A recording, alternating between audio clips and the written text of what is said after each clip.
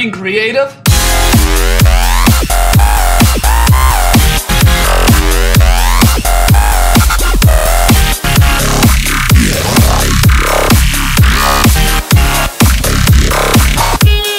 Being creative?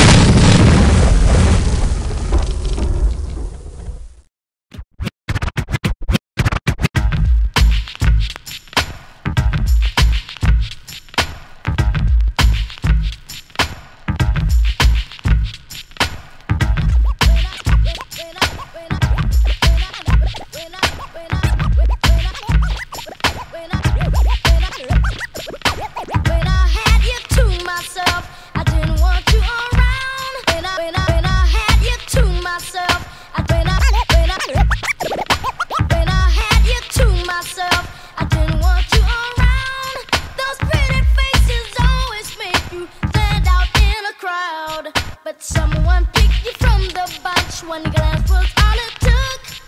Now it's much too late for.